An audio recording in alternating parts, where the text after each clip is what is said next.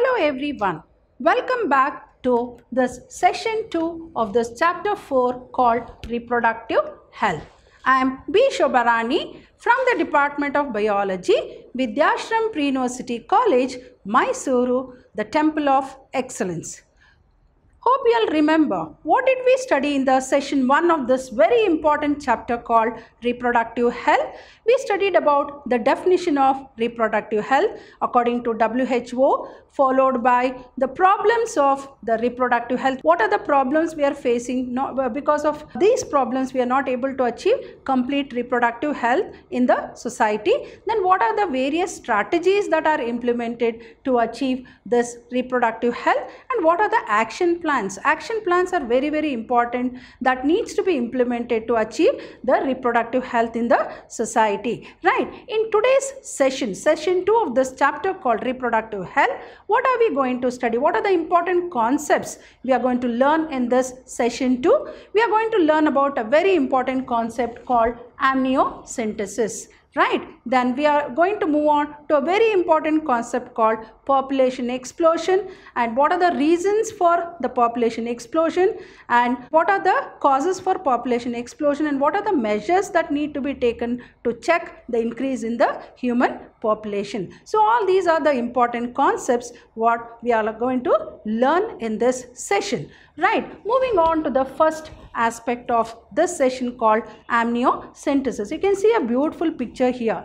right? You can see the developing fetus surrounded by the amniotic fluid. So there is a reason right? Now let us see first what is amniocentesis? Actually amniocentesis is nothing but a fetal sex determination test based on the chromosomal pattern in the amniotic fluid surrounding the developing embryo. So what is amniocentesis? It is a fetal sex determination test based on the chromosomal pattern. If it is xx then it will be female. If it is xy then the developing fetus will be male. So based on chromosomal pattern in the amniotic fluid surrounding the developing embryo, we are able to detect the uh, sex of the developing fetus. Actually, it is a banned now. Why this very important process called amniocentesis is banned. So it is banned because actually amniocentesis is nothing but what? It is a prenatal diagnostic test for sex determination. As you all know that sex selection violates the fundamental right to equality. We are not supposed to identify the sex of the developing fetus because because of this there is an increase in the female feticides that is the destruction of the female fetus or you can call it as the female feticides. So in order to check the increase in the female feticides, this very important amniocentesis is banned, right? But actually this amniocentesis can also be used to detect some genetic abnormalities in some cases, but not at all times. But to identify the sex of the developing fetus, it is banned. But sometimes to detect the genetic abnormality it, was used. So it is a cytological technique of prenatal diagnosis for hereditary diseases and for the first time it was used in All India Institute of Medical Science and can detect around 1300 genetic abnormalities. So it can detect around 300 genetic abnormalities.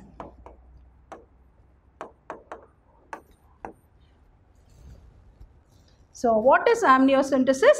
Amniocentesis is nothing but a fetal sex determination test test based on the chromosomal pattern in the amniotic fluid surrounding the developing embryo. So this is the amniotic fluid. So here you can see the amniotic fluid is extracted and the chromosomal pattern in the amniotic fluid is studied and in that case they will find whether the developing uh, fetus is a male fetus or a female fetus. But as I said now the government has banned this amniocentesis. Why it is banned? Because if at all a parent comes to know that it is a female uh, fetus they get it aborted or right. So that is the reason why this amniocentesis is banned to check what? To check female feticides. Female feticides as I said, sex selection violates what? Fundamental uh, right of equality. It is not like male is great or female is, both are one. Both male and the female are having equal status in the society. Whether it is a developing male fetus or a female fetus, it is one and the same. So, we are not able to kill or destruct the fetus before it is born. So, that is the reason why it is banned. As I said, it is a cytological pattern of prenatal diagnosis to know the hereditary diseases. As I said, it was for the first time used in All India Institute of Medical Science and around 1300 genetic abnormalities can also be studied. Right, as I said, there is a statutory ban so any diagnostic center going for this amniocentesis will be legally punished. So it has been banned now. So there is a statutory ban uh, even if a doctor tells what the developing fetus is whether it is a, a female or a male uh, fetus also the doctor also will be legally punished. So there is a statutory ban on amniocentesis to legally check what? To legally check the increasing menace of female feticides. Female feticides is also called what? Destruction of fetus destruction of fetus is also called female feticides right? So as i said both are equal whether it is male or female both are having the equal status in the society. We have no right to kill the female fetus right? That is the reason why there is a statutory ban on amniocentesis. So what is this is a very important question which is asked in the board question paper. So what is amniocentesis? It is a fetal sex determination test based on the chromosomal pattern in the amniotic fluid. What is amniotic fluid? It is a fluid that surrounds the developing uh, fetus and it acts as a uh, shock absorber and it protects the fetus from all dangers right surrounding the developing embryo. As I said there is a statutory ban on amniocentesis to legally check increasing menace of female feticides. But as I said sometimes amniocentesis is done to detect the genetic abnormalities but are not all the case. Moving on to the next very important concept called population stabilization and birth control. All of you know what is population. First of all let us understand what is population. What is population? Here you can see in this beautiful picture the increase in the population. What do you mean by population? Population is the number of organisms of same species present in a particular area over a particular period of time. Over a particular period of time is called population. So what is population? Population is the number of organisms of same species present in a particular area over a period of time. But I think all of us know now there is an increase, rapid increase in the population. What do you call that a rapid increase in population? It is called population explosion. So what is population explosion? Population explosion is not nothing but a rapid increase in the uh, human population. The population is called as population explosion. So as you know, the population explosion will lead to what? Will lead to what? An absolute scarcity of basic requirements such as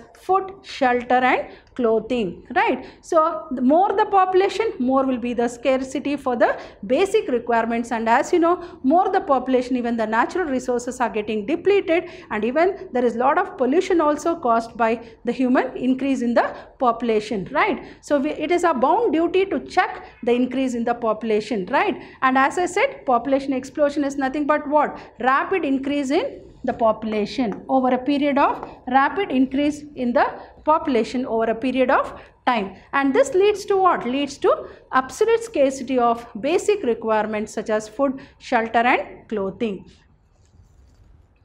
So what is population? Population is the number of organism of same species present in a particular area in a particular time. And what is population explosion? As I said, it is nothing but rapid increase in the population over a period of time leads to what? Absolute scarcity of basic requirements such as food, shelter and clothing. Moving on to the next concept of this population explosion, as I said, the population of India was 350 million at the time of independence and about 6 billion in the year 2000. Just imagine the rapid increase in the population in India. As you know, India is the second largest thickly populated country and as it is facing a good number of challenges. So what are the challenges that our country is facing? Like the basic requirements such as food then such as clothing housing. Child marriages are increasing. Lack of knowledge about reproduction then the traditional customs then also ineffective care of mother and child right? All these are the problems or the challenges which we india our country is facing. Why it is facing all these uh, challenges? Because as you know india is the second uh, largest thickly populated country next to china. So the population of india was how much 350 million at the time of independence that is in 1947 it was around 350 million. But over a period of 2000 it has increased to how much? 6 billion. So you can see how there is a rapid increase in the population over a period of time now what is population growth first let us understand this term called population growth population growth rate is the number of organism of same species present in a particular area with respect to time. So what is population growth rate? What is, they'll ask questions like what is population, what is population explosion, what is population growth rate. So what is population? Population is nothing but increase in the human population in a particular area at a particular time. And what is uh, growth? Population is nothing but a group of particular species in a particular area. What is population growth? Population growth is nothing but the number of organism of same species present in a particular area with respect to time. As you know in the last uh, century due to the availability of all the facilities there is a significantly uh, improved uh, quality of life right. So we have developed in all walks of life and this has significantly increased the quality of life of the human beings. Maybe that is the reason why there is an increase in the population. However, we also know that the medical facilities and the life conditions have improved to such a great extent that there is an explosive increase in the growth of human population. It is our bound duty to check this population explosion. We need to reduce the population. If not, in the future course of time, we are going to face a lot of problems, particularly for the basic requirements like food, water and shelter. So what is population growth rate? Population growth rate is nothing but the number of organism of same species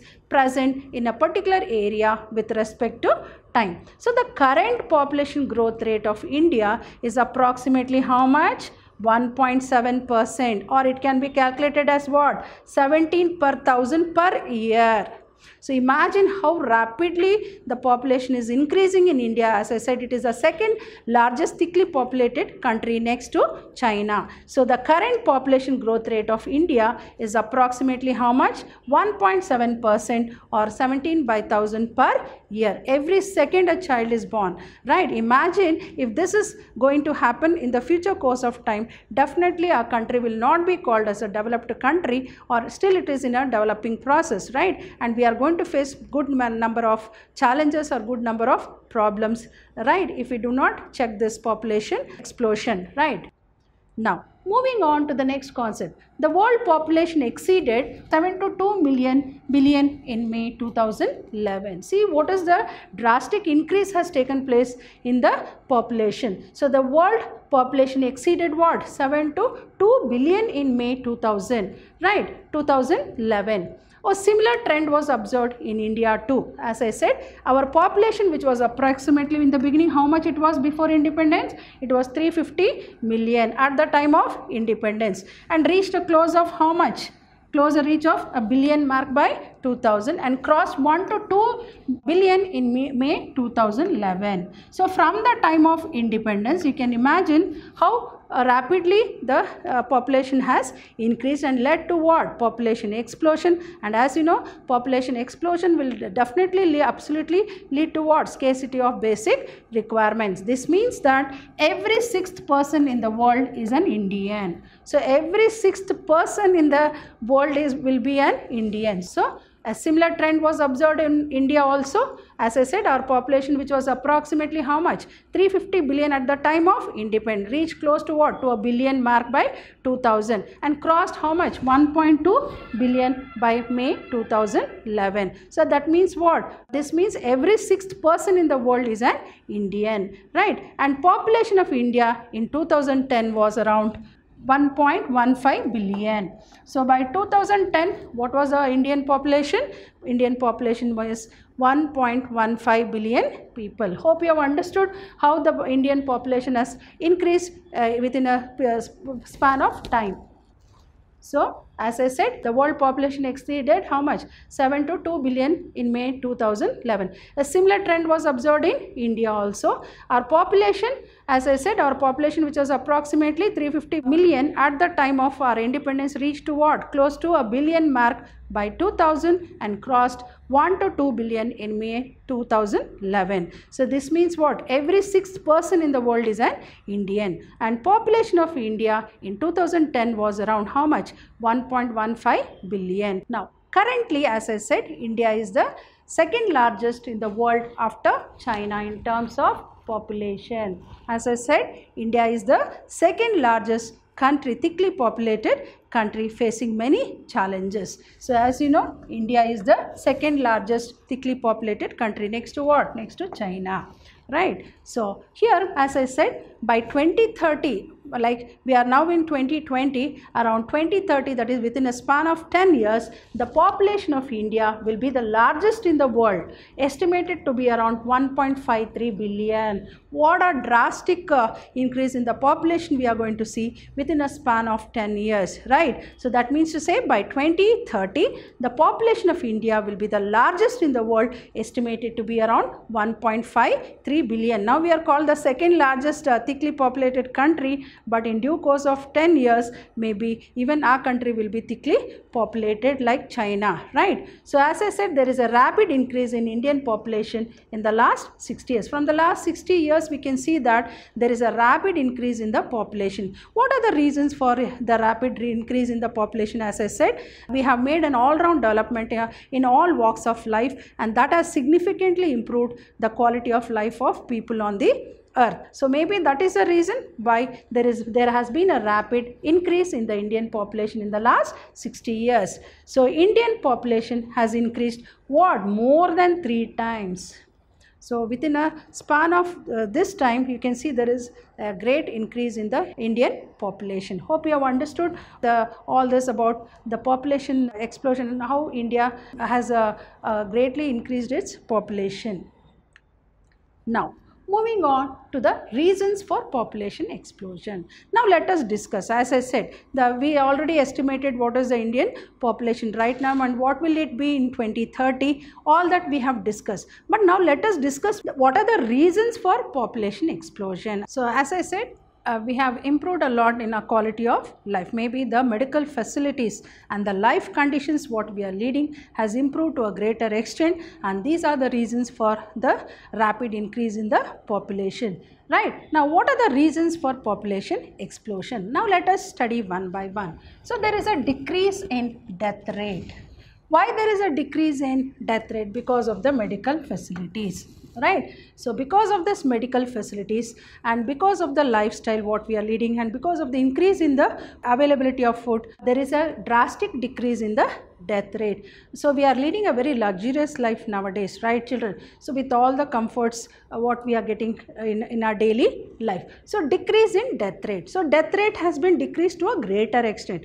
Lesser the death rate and more the birth rate obviously there is a population explosion right? Next decrease in the maternal mortality rate as I said, do you all remember in my previous class I said the best care or uh, effective care should be taken both about the mother and the and the child, right? Even during the uh, period of pregnancy and after the delivery of the baby also both the mother and the child should, should be taken care of. So because of the increased care of the mother and the child, so now we can find that there is a decrease in the maternal mortality rate. So during the delivery time there are less cases of the death of the mother. So maybe that is a reason also for the increase in the population right? So decrease in the maternal mortality rate which is called mmr maternal mortality rate. So what is the first reason for population explosion? Decrease in death rate. Second decrease in the maternal mortality rate. Third decrease in the infant mortality rate. As i said even the infant as soon as it is born also is taken care and medical uh, facility is provided to the child at after the birth. So maybe that is the reason even the infant mortality rate has decreased to a greater extent. That is called imr what is mmr mmr is maternal mortality rate. What is imr infant mortality rate. So, decrease in maternal mortality rate, decrease in infant mortality rate. Next moving on to the next reason, better medical care. Better medical care for the epidemic diseases like cholera, plague, smallpox, etc. So, all of you know that right now we are facing this pandemic uh, that is about the coronavirus. Even the health department and the government uh, and even the scientific organizations are also trying their best to come out with a vaccine uh, to cure the corona positive patients. So that means to say that in future course of time we, not, we need not be afraid of this corona virus because we are going shortly we are going to get a vaccine to cure the corona patients. So, so that means to say that better medical care for epidemic diseases like cholera, plague and smallpox. In olden days like you know many people used to die if there was an outbreak of an epidemic like cholera, plague and smallpox. But now as we know plague and smallpox is completely eradicated. Uh, so, uh, particularly in summer season we come across this cholera but as I said there is again a vaccination for this cholera. So, maybe that is the reason even the death rates are decreased. So, better medical care of for epidemic diseases like cholera, plague and smallpox is also a reason for the population explosion. Next very important that is advancement made in the field of agriculture. Advancement made in the field of agriculture. So all of us know now that modern technology, modern implements like equipments are used for the, in the field of agriculture where the crop production has increased to a greater extent and that has increased the availability of food. So like nowadays we don't face the scarcity of food and that is the reason why are we not facing the scarcity of food because of the advancements made in the field of agriculture that is the reason why the availability of food has increased to a greater extent. So this is also one reason for the population explosion. Next, increase in number of people of reproducible age. Particularly we come across this group age people has increased to a greater extent. So obviously the death rate will be very very less. So they are the younger generation people of reproducible age and that is the reason why there is an increase in the number of people of reproducible age which is also a reason for this population explosion. Here you can see how uh, the advancements what we have made in the field of agriculture and the advancements that is made in the field of better medical facility, availability of uh, medicines, all these are the reasons for the decrease in the death rate and increase in population. And you can see the availability of food. Now we are getting very good quality food nutritious food. So maybe that is the reason why the life condition of people has improved to a greater extent. So all these are the reasons to quote. And as i said the decrease in the death of the infant. So as i said infant mortality rate also has decreased. So all these are the very important reasons for the population explosion. Now methods to control population explosion. So far we were discussing about the reasons for population explosion what is population what is population growth rate what is population explosion what are the reasons for population explosion all that now what are the methods to control population explosion hope you remember in my previous session we came across with the concept called rch that is reproductive and child health care. So this is one very important organization which takes care of programs like the family planning program. Family planning programs. what is family planning? What is family planning? Family planning is nothing but planning for a smaller family by implementing certain contraceptive methods to avoid unwanted pregnancy. So, family planning is nothing but planning for a small family, right? Now, so what is that family? What is the concept of family planning? That is, one child norm must be adopted. So, first method to control population. First method to control population is what? One child norm must be adopted. Here you can see how happy the couple are with a single child. Hum do hamare ek right? So that means to say that one child norm must be adopted. Before it was hum do hamare do now it has uh, been reduced to hum do hamare ek now. So that means to say one child norm must be adopted so that the family will be quite happy and leads a very comfortable life. And statutory raising of marriageable age of the female. Very very very important children. So the marriageable age of the female is 18 years and that of a male is 21 years. Right? So child marriages are forbidden. That means a female should be of age of how much? 18 years. And the male should be 21 years. So what is a very important uh, method to control population? Because uh, if the age is below 18 years and the male is uh, below 21 years definitely they are going to face a lot of problems with respect to reproductive health. So that is the reason why because they are not complete and particularly when we come across a female uh, below the age of 18 years her reproductive organs would not have been developed and she would not know what is pregnancy how to take care of the newborn. All the challenges need to be met by the girl if she is below 18 years or if the boy is uh, below 21 years. So that is the reason why there is a statutory raising of the marriageable age of female to 18 years and that of a male to 21 years. And nowadays even the government is uh, thinking of revising the marriageable age group also, right? So what is the first method? First method is what? One child norm must be adopted. That is one child norm. Second one is what? What is the second very important method? Statutory raising of the marriageable age of the female to 18 years and that of the male to 21 years. So here you can see in this beautiful picture. So you can see the girl is of 18 years and the boy is of 21 years only then they will be allowed to marry and nowadays particularly the department of child and uh, women and child health uh, welfare department is trying its best to avoid the child marriages and stringent action and legal actions are taken against those parents uh, who uh, who encourage the child marriages so this is one way of method of controlling what? Population explosion. Hope you have understood. This is a very two very important methods to control population. Now moving on to the next. Providing awareness to the people or in the people through media. As you know media is the best way of communicating as well as posters bills showing happy couple with one child. With the slogan hum do hamare ek. We two our one. Hope you can see in the previous slide. Here you can see. What is it? Hum do hamare ek right. So providing awareness in the people through media as well as because these media and the posters are the best way to create awareness among the people. They they reach very fast the people. So that is one way to create awareness among the people about the one child norm that is with the slogan hum do hamare ek we two our one.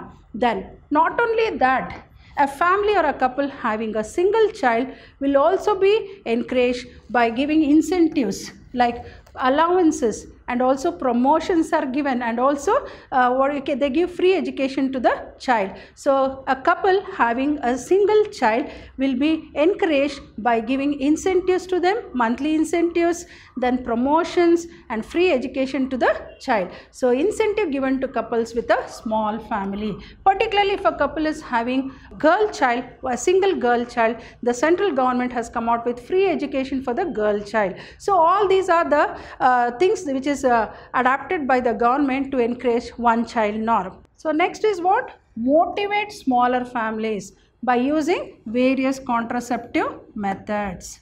As I said, Particularly, the adolescents and the married couple should be given awareness about the birth control options and how they can prevent the unwanted pregnancy by using various contraceptive methods. Instead of going for feticides, they can avoid that unwanted pregnancy. So, motivate smaller families by using various contraceptive methods. So, these are all the methods which are implemented to uh, decrease the population explosion. Here you can see the media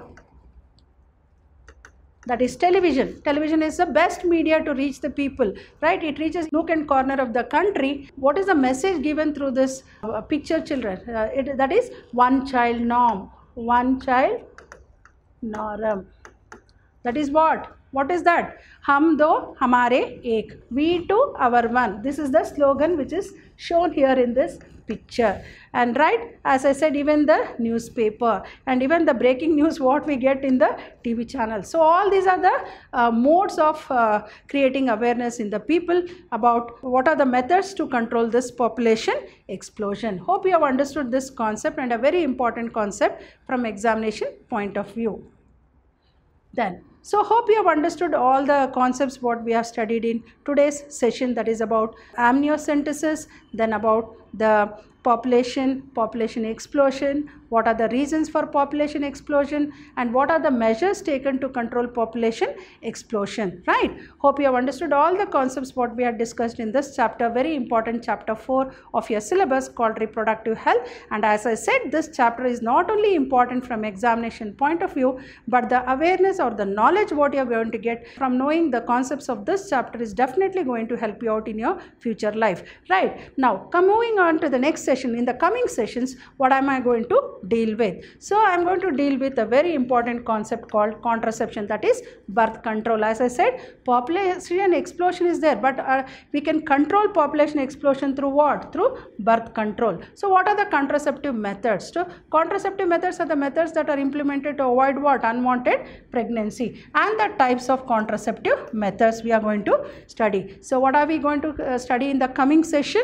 So we are going to study about the contraception and the types of contraceptive methods. Hope you have understood all the concepts of today's session. So meet you soon in the coming session. Till then, goodbye. Thank you.